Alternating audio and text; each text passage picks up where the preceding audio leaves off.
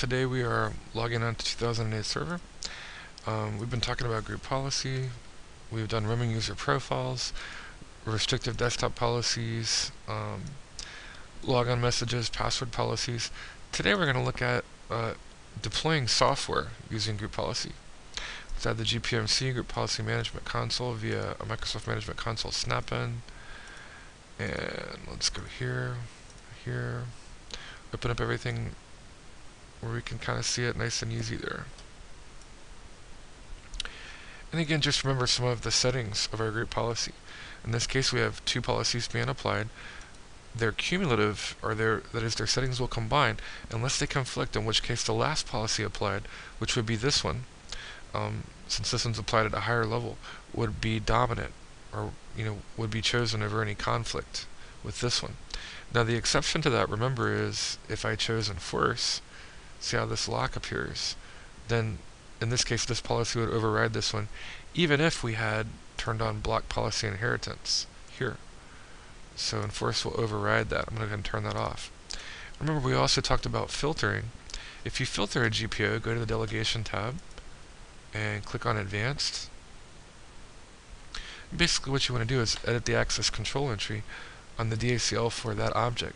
So if a user can't read or apply uh, group policy, if they don't have that permission, then that GPO doesn't apply to them. We did that to Tesla. We explicitly denied read and apply group policy permission.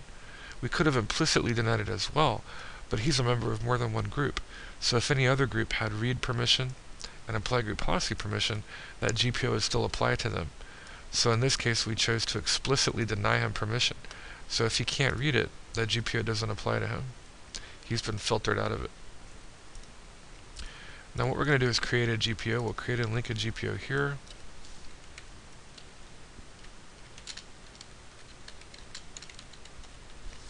We'll call this one NH software install. And let's go edit this GPO. And we'll look at some of the different possibilities. Um, under software settings, you have them um, under both the computer and user tab. But let's look at some of the differences. Um, if we were to try to add a software package here, I'm going to go to, let's go here, and here. And I'm going to show you, um, this is going to use the absolute path um, mapped to the drive letter. That's not a good thing. We, we want this deployed across the network via a network share, so it needs a UNC path. But 2008 will warn you about that, so I'll show you. I'll go ahead and what we'll need to do is go in, in, that folder and share that object out. But just to show you what would happen. Cannot verify the network location. Alright, so let's go ahead and do that real quick. We'll open up Explorer. And let's go. And we want to go to our E drive. Let's go here and share this out. And we just want to make sure that everybody has permission. Again, I'd probably remove everyone.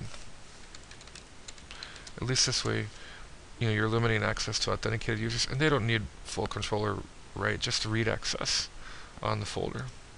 We'll say okay, okay, okay. And of course they're also on the security tab, or they have NTFS permissions for that as well. Let's get the UNC to go to that directory now. So the UNC would be background, Office 2003, Office 2003. And that's the UNC path that we want. So now we'll go back here.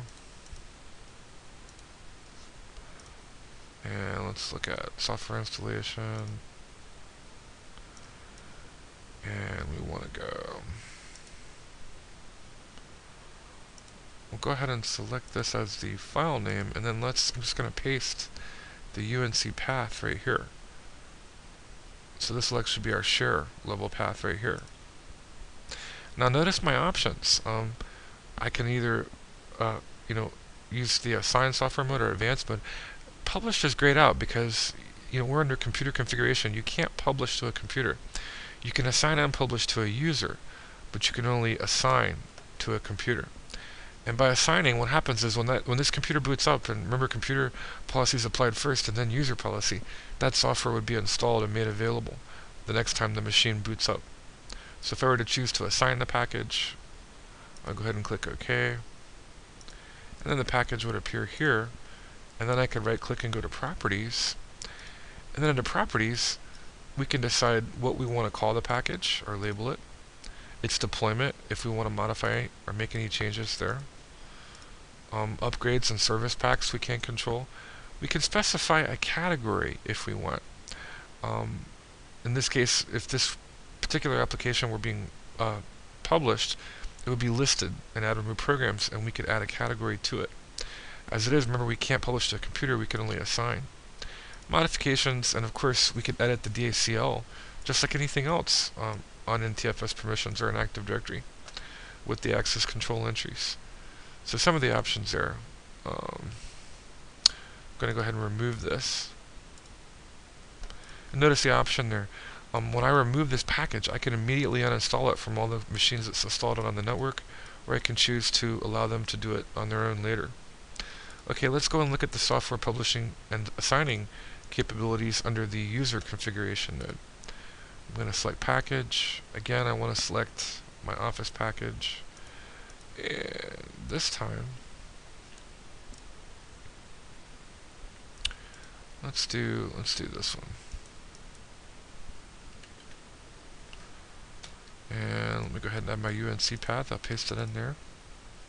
Notice my options are different. I can publish or assign.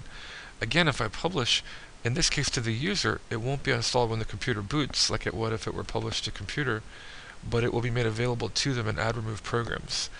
On the other hand, if I assign to the user, in this case, there, a shortcut would be added to their start menu, and then when they clicked on that icon, it would be installed. So two different options but we'll make this one available via control panel. And again, you also have the advanced option there.